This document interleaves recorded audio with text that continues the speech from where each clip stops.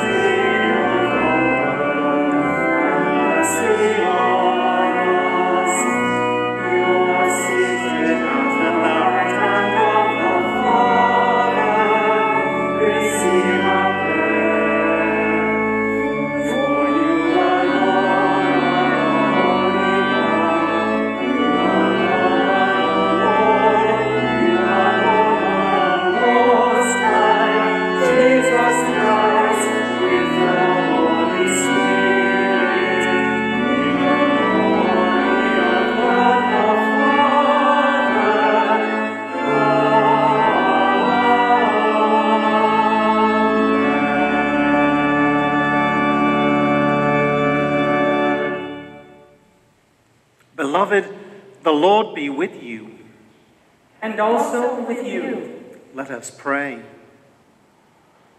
Almighty and everlasting God, whose will it is to restore all things in your well beloved Son, the King of kings and Lord of lords, mercifully grant that the peoples of the earth, divided and enslaved by sin, may be freed and brought together under his most gracious rule, and who lives and reigns with you and the Holy Spirit, one God, now and forever.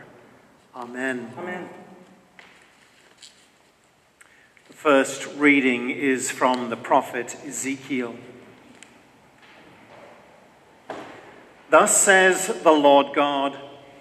I myself will search for my sheep and will seek them out. As shepherds seek out their flocks when they are among their scattered sheep, so I will seek out my sheep. I will rescue them from all the places to which they have been scattered on a day of clouds and thick darkness. I will bring them out from the peoples and gather them from the countries, and will bring them into their own land. I will feed them on the mountains of Israel, by the watercourses, and in all the inhabited parts of the land.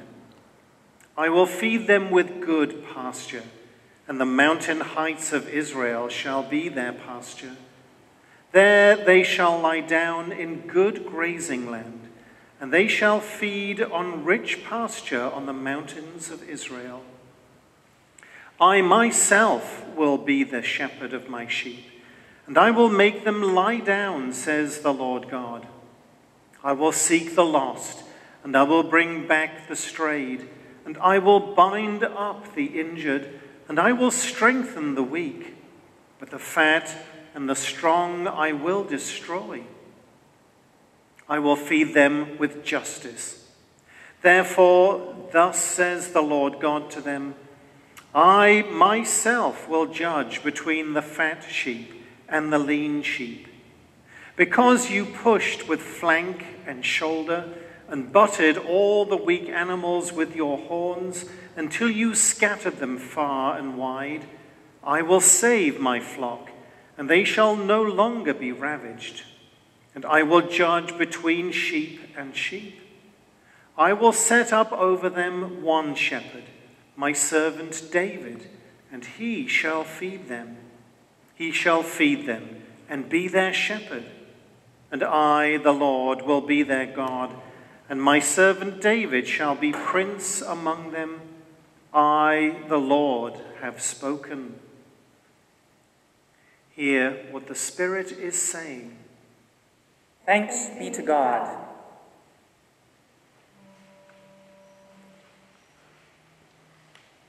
Come, let us sing to the Lord. Let us shout for joy to the rock of our salvation. Let us come before his presence with thanksgiving and raise a loud shout to him with psalms. For the Lord is a great God and a king, a great king above all gods. In his hand are the caverns of the earth, and the heights of the hills are his also. The sea is his, for he made it, and his hands have molded the dry land. Come, let us bow down and bend the knee and kneel before the Lord our Maker. For he is our God, and we are the people of his pasture and the sheep of his hand.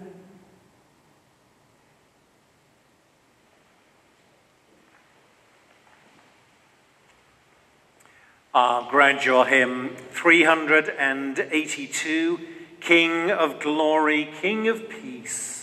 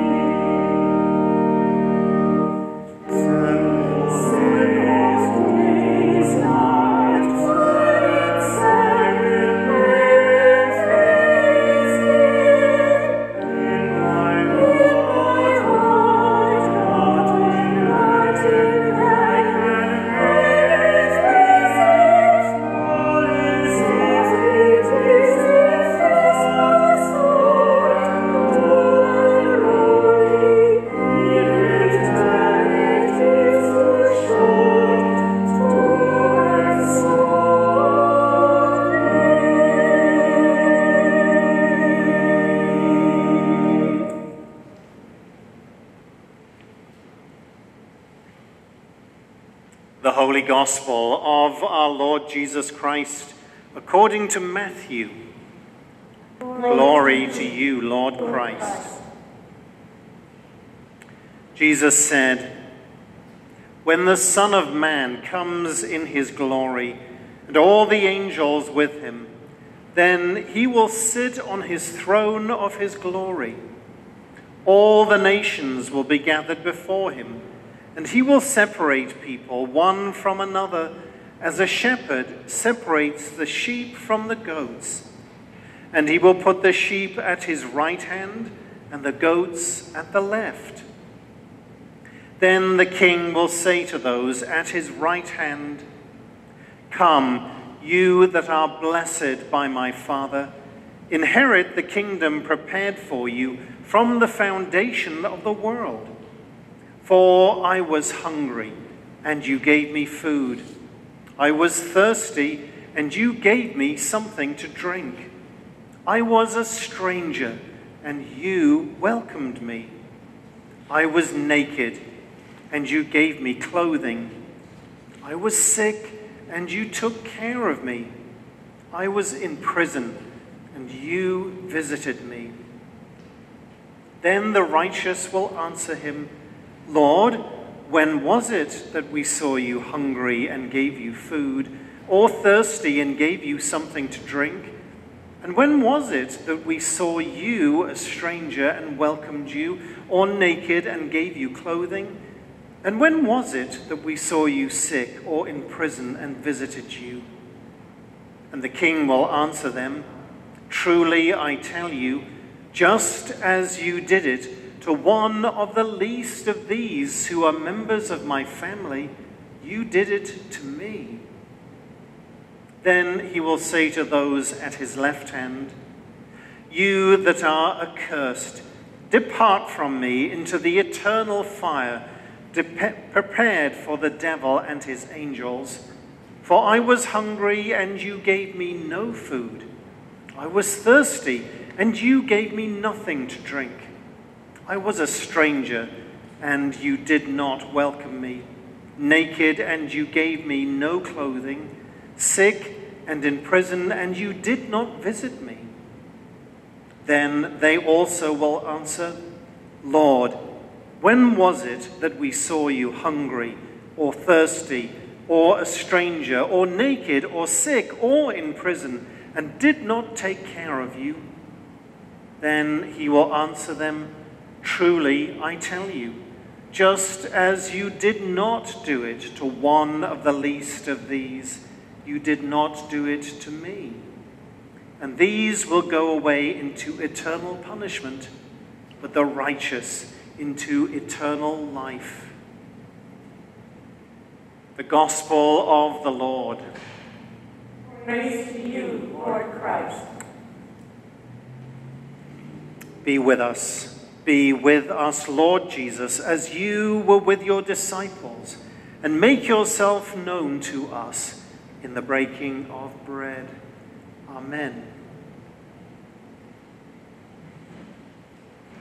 The feast of Christ the King, Jesus our Lord and our leader, the one whom we follow, the one who saves us and rescues us and sets us free. Our gospel reading today from Matthew. If you are like me, you're sort of conflicted about this reading. On the one hand, I really love this reading. Parts of it are tender, and it's certainly uh, a timely, a timely call for all of us. On the one hand, I love this reading, but if I'm honest, on the other hand, I absolutely loathe this reading. Let's start with the, uh, with the positive first. Why do I love this reading? Well, I think in many ways because it makes everything pretty simple. Uh, it puts everything nice and neatly into uh, distinct boxes, and there's a shelf for each box, and it is, uh, it, it is done, and I don't have to think about it too much. And plus, um, you know, good triumphs over evil in the end. What do I mean? Well, you remember the parable. The King Jesus comes at the end of time, and the good are put on the right, and the bad are put on the left, and uh, the good are um, praised, and they go off to uh, their eternal reward, and the bad are, uh, well, they're castigated, um, they're told off, and then they go off to their just deserts. Good triumphs over evil. All's well that ends well. And there's a part of me that longs for that kind of certainty, that kind of, uh, you know, simple answer. It'll all be all right in the end, and God will judge between us. And the best thing about it, and I think why I love this, uh, this gospel reading in one way, is because I know, really deep down, that I'll be in with the sheep. I will be in with the sheep, of course. I love this gospel reading because it is simple and clear. But on the other hand, I really struggle with this reading because, well, mainly because of the kind of picture that it paints of God. It paints God, it paints Jesus as a judge. And I don't know, I have a hard time reconciling the image of God that Jesus uh, presents as God as all loving and gentle and the one who loves his, her sheep, the one who tenderly created all of us, I have a really hard time reconciling that image of God, which I think is so clearly part of the message of Jesus, and this idea that then God would send off a whole bunch of God's creation to eternal punishment. I have a really hard time reconciling those two things. And I really push, and I sort of push back against God and, and I say, Is that the way you see us? Um, is that the way we're going to be treated in the end? Well, on further reflection, on further reflection, I think that that simplistic reading of the gospel is just that it's simplistic. Uh, and actually, in my humble opinion, I, I think it misses the point of the gospel reading completely. What is the meaning of the gospel reading? Well, here's my interpretation, and make of it what you will. So, in part, Jesus uses um, what's the word, flowery imagery, because um, here he paints the picture of himself turning up with the angels and the archangels and all the saints in company of heaven. And so, of course, he's you know got to brush off his speech and uh, and appear as if he is in charge. And uh, so here you have this uh, sort of flowery pronouncement about the good and the bad. But here's the thing most of us are good and bad mixed together, aren't we? Well, I can only speak for myself, and I know that, yeah, I'm, I'm sort of a sheep goat, really. Uh, I'm certainly not a sheep, and I don't think I'm entirely a goat. Um, I'm sort of a hybrid. Both of those things mixed up within me, and I don't know how Jesus would separate, separate out my DNA one strand at a time uh, to make me, yeah, completely pure. And I don't think this reading is about judgment. I think it's more a statement of fact. Because here's the thing what Jesus is saying is that what we do in everyday life, and here it really is, what we do and what we say and how we act and how we are, the opinions that we express, the decisions that we make, the kind of relationships that we have with others or don't have with others, the way we see other people, the way we treat other people, that creates a reality not only for ourselves, but it influences the reality of people around us. And then exponentially, you know, as the ripples of our influence go out, so uh, who we are in the world has a profound effect on the world around us. And we very much, I think, create the world around us.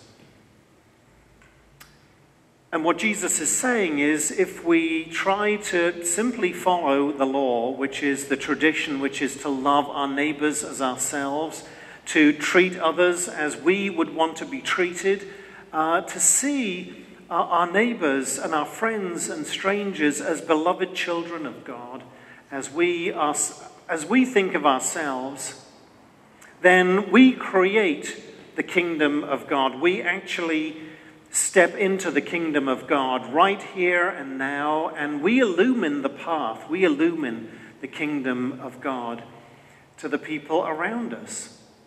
That's it. Statement of fact.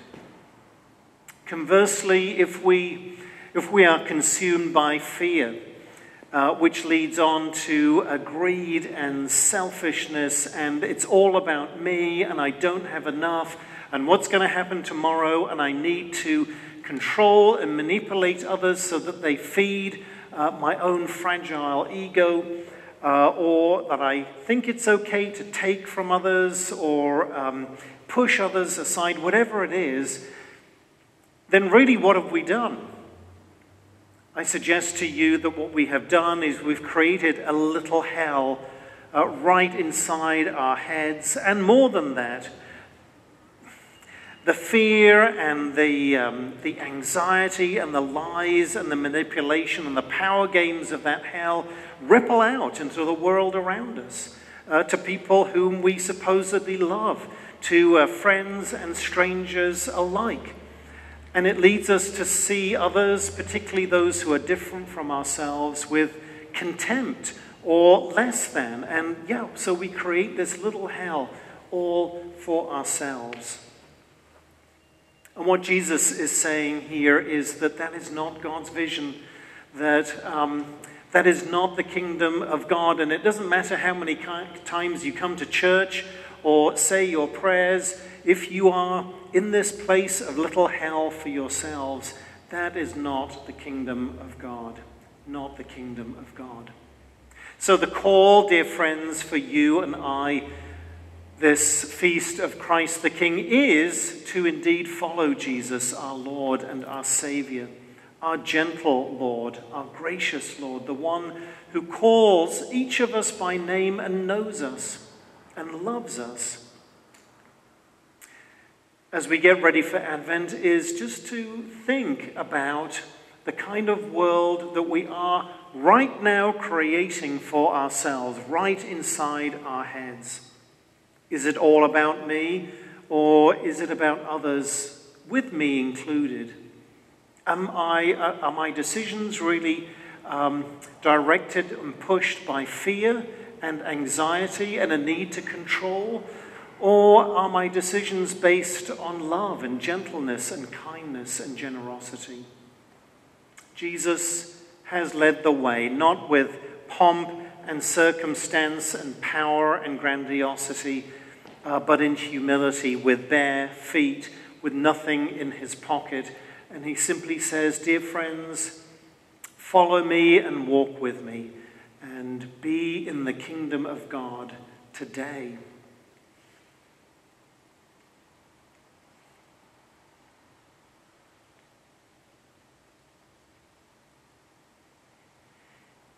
Shall we affirm our faith together? saying words from the ancient church, the Apostles' Creed, found on page four in our worship bulletins. I believe in God, the Father Almighty, creator of heaven and earth. I believe in Jesus Christ, his only Son, our Lord. He was conceived by the power of the Holy Spirit and born of the Virgin Mary. He suffered under Pontius Pilate, was crucified, died, and was buried. He descended to the dead. On the third day, he rose again. He ascended in heaven and is seated at the right hand of the Father. He will come again to judge the living and the dead. I believe in the Holy Spirit the Holy Catholic Church, the communion of saints, the forgiveness of sins, the resurrection of the body, and the life everlasting. Amen. Through baptism, we have been raised with Christ, ordained to a royal priesthood, and made citizens in a holy nation. As faithful priests, serving the King of Kings, let us intercede for all the world, saying, In the name of Jesus our King, hear our prayer. Almighty God, sovereign majesty, as your humble priests, we pray for all your children who do not confess you as Lord. Enable us to live the good news authentically, that all may inherit life eternal in the kingdom of heaven. In the name of Jesus our King. Hear our. Almighty God, ruler of all nations, cause the leaders of nations to recognize your sovereignty and to accept your gracious rule. Make them proponents of peace and lovers of justice. Crown each ruler with compassion that all peoples may live in peace. In the name of Jesus our King. Hear our prayer. Almighty God, merciful monarch, look with pity on all who suffer, those with incurable disease, those unjustly imprisoned, those denied dignity, the hungry, those without shelter, those who live without hope.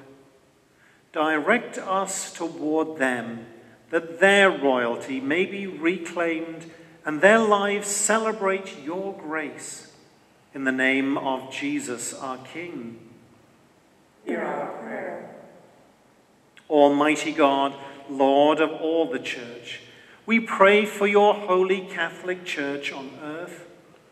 Gather all who bear the name of Christ into one vigorous, fruitful community of faith, that the world may see one King of glory and one kingdom of grace. In the name of Jesus. Hear our prayer. Almighty God, benevolent Judge, we pray for all your people gathered here to seek your grace. By your mercy, prepare us for the day of judgment, that we may accept it as a rich and royal gift for the eternal pleasure of the faithful. In the name of Jesus our King. Hear our prayer. And in a moment of stillness, we lift to God the prayers and needs of our own hearts and lives.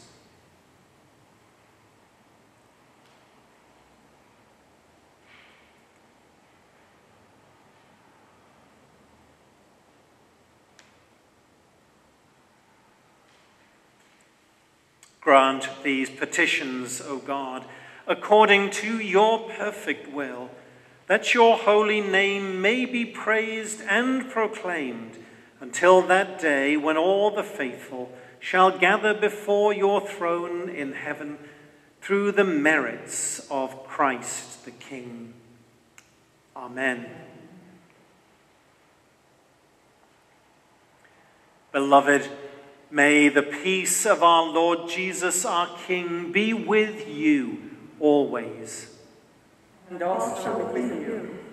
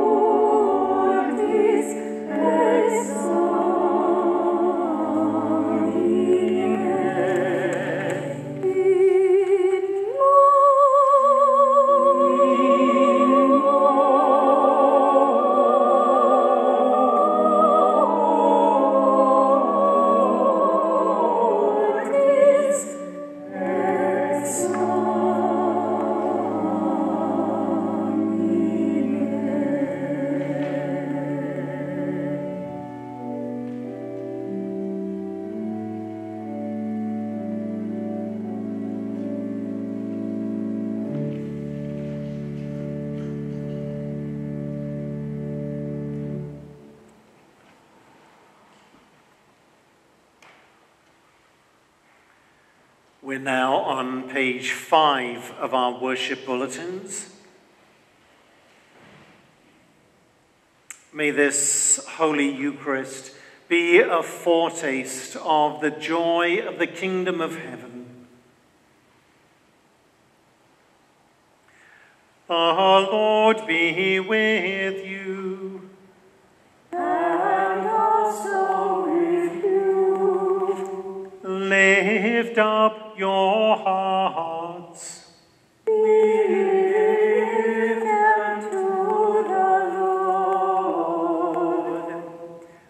Let us give thanks to the Lord our God.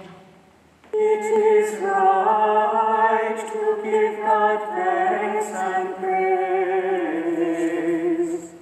It is right and a good and joyful thing, always and everywhere to give thanks to you, Father Almighty, Creator of heaven and earth.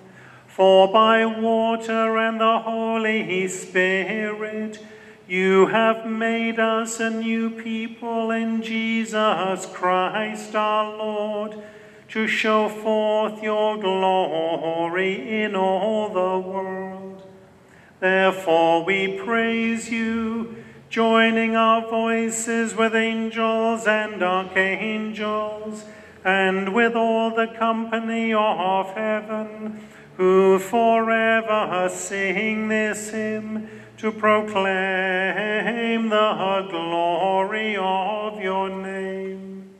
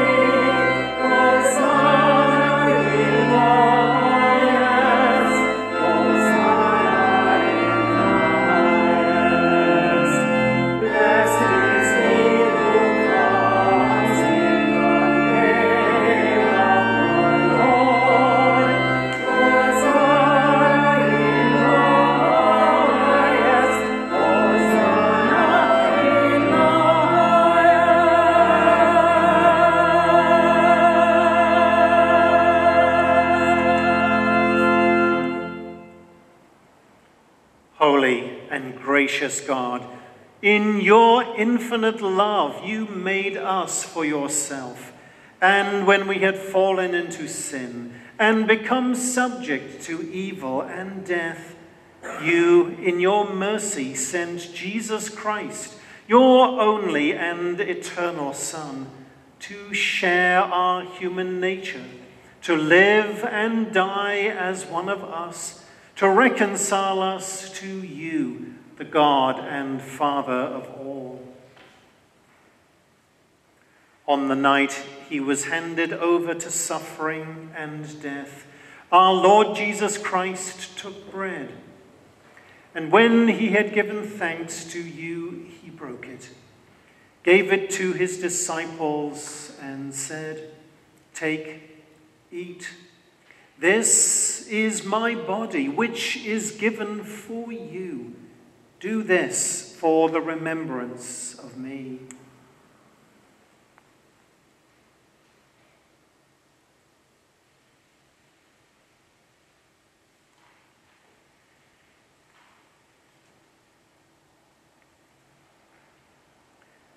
After supper, he took the cup of wine.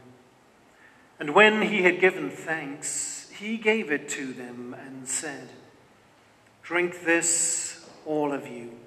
This is my blood of the new covenant, which is shed for you and for many for the forgiveness of sins. Whenever you drink it, do this for the remembrance of me.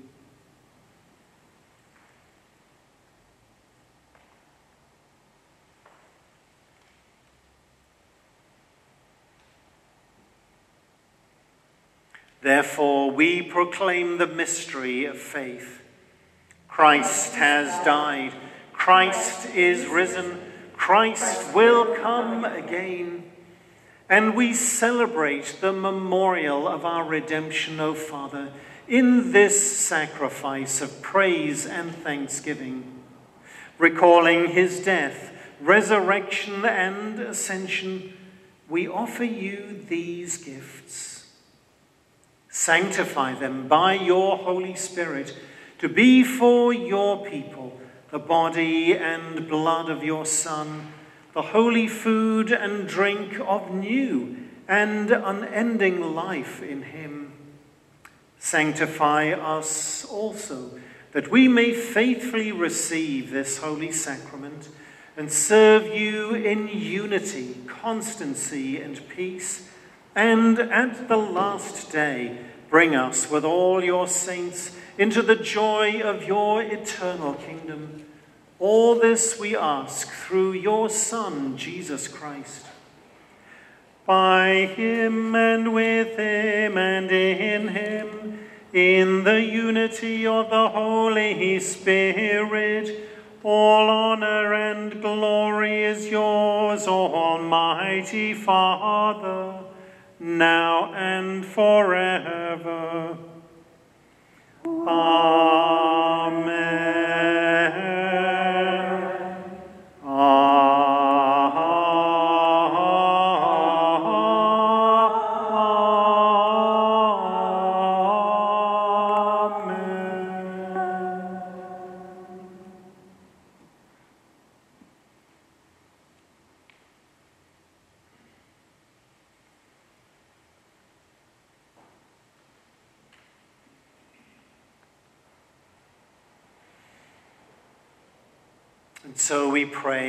As our Lord Jesus taught us and prays with us, Our Father, who art in heaven, hallowed be thy name.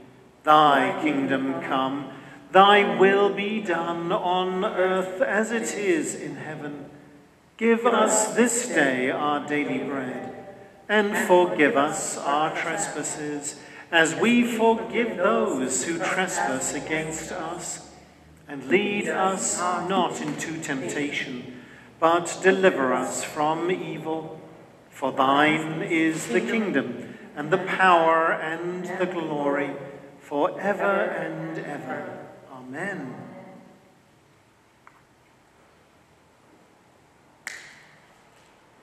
We break this bread to share in the body of Christ.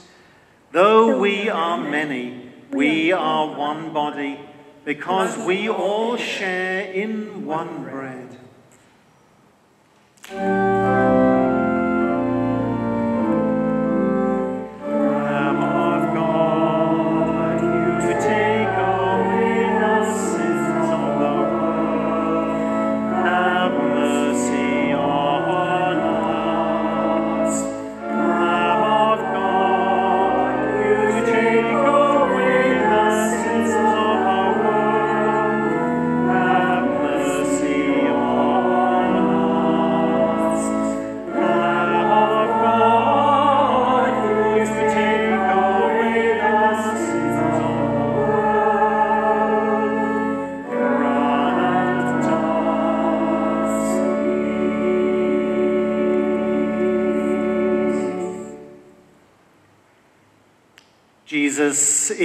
The Lamb of God who takes away the sins of the world.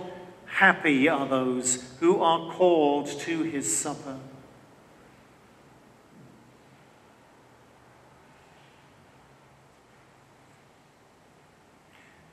The body of Christ given for us.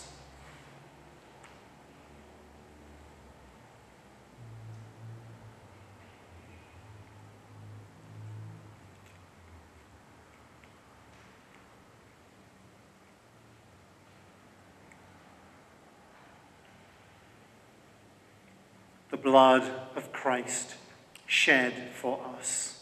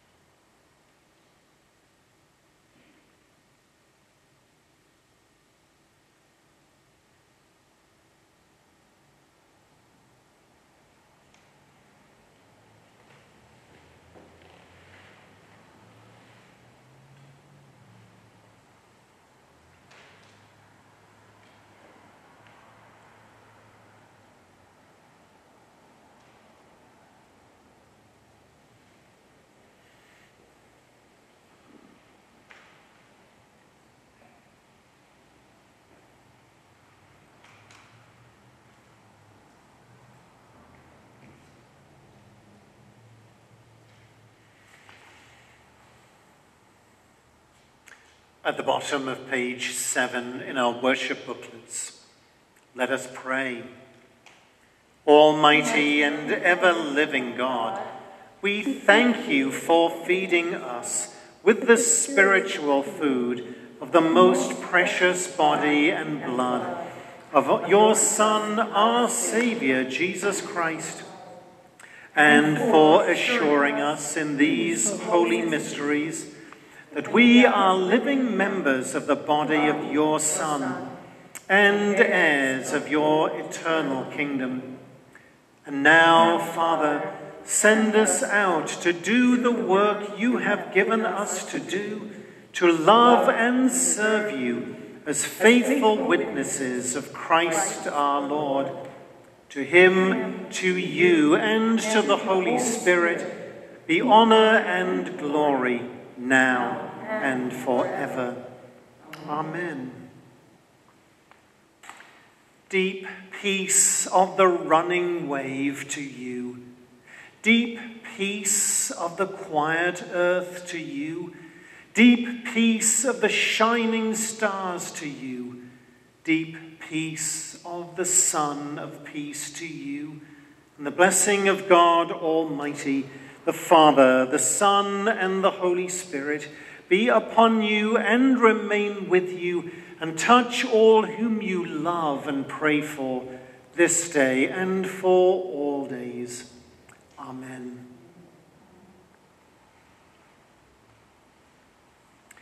Just to remind you to uh, look at your Wednesday emails every week.